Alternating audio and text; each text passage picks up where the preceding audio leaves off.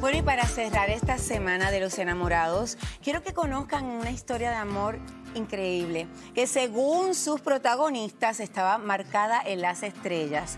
Aquí están con nosotros la periodista internacional María Alejandra Requena y su esposo, el actor Luciano Di Alessandro. Bienvenidos. Gracias. Una pareja bella. Ustedes son bellos, bellos los Ay, dos. no.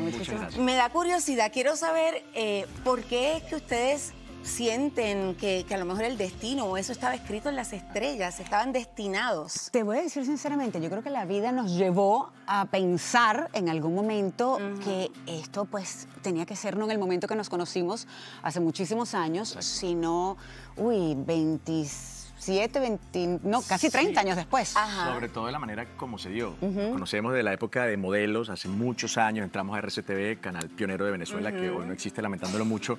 Ella entra como presentadora, yo como actor. Ella en ese entonces tenía a su esposo, Ajá. a que conocí. Yo tenía una novia que era su amiga. Sí. Pero cuando Siguen siendo tú- amigos. Pero cuando la conociste, ¿tú sentiste algo raro? Cero nada. coqueteo, Ok. absolutamente Sí, nada. Era una nada. amistad normal. Ok. Pasan los años y resulta que nos tomamos un café en diciembre. El diciembre del 2019, 12 años sin vernos. 12 ahí pasó, ahí pasó años. mucha Sí. historia que Mari te lo va a contar ahorita. Ajá. Ahí pasó mucho. 12 años sin vernos, nos tomamos un café y ahí pasó una cosa. que yo no entendí, por supuesto, yo decía, Nadie. "¿Qué Pero si yo lo entendía. conocía a él hace No, no, no. tiempo, que va-. Tan mágico fue No que ese entiendo. café nos llevó a esto. Mira dónde Sí. estamos. Qué cosa más loca. No, y para ti, yo me imagino que tú no te esperabas, esto te sorprendió totalmente porque tú estuviste 20 años casada. Sí. Y, y bueno, Estuve 20 años casada y casi 26 años con la misma persona. Ajá. Yo estaba de novia con él, con Ismael, cuando conocí a Luciano. Luego, inclusive ya casada, Luciano con mi amiga Mónica fueron a la casa, compartimos y nunca pensamos absolutamente nada. Tengo dos hijos.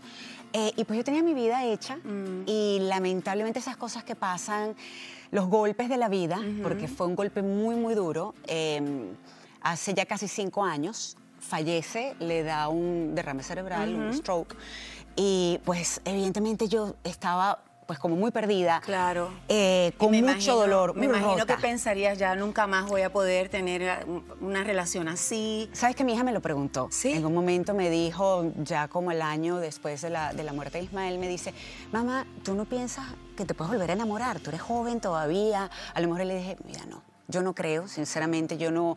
No lo estabas Era buscando. imposible pensarlo, era imposible pensarlo. Por eso cuando nos reencontramos y hubo cosa de- aquello... de, timing impresionante porque pues, yo después de años tener una carrera sólida en Venezuela, luego en Colombia, pues uno sacrifica mucho cuando trabaja en este medio, ¿no? Ajá. sacrifica mucho lo personal y yo estaba abierto ya a, a irme con toda, a darle go a, a lo personal. Mm. Y Mari, después de lo que pasó también justo cuando nos tomamos ese café, insisto, porque ese día pues, Mm. definitivamente fue clave, ella también dijo, creo que estoy abierta a dejar entrar a alguien. Si ese café lo hubiésemos tomado dos semanas antes, No hubiera a lo mejor pasado. no pasaba nada. Una cosa de timing impresionante. El trabajo que yo tuve que hacer por mucho tiempo en mí, porque yo decía, si yo no estoy bien, no puedo ser feliz. Yo creo que ahí está la clave, que tú Sí. trabajaste en sanar Definitivamente. un- un- algo tan difícil, ¿no? muy duro y es algo que siempre estará allí y que siempre me va a acompañar. eh, y además él ha sido, bueno, muy comprensivo, fue muy seguro de sí desde un Mm. ¿Qué, principio. qué te parecen los hijos? ¿Los aceptaron?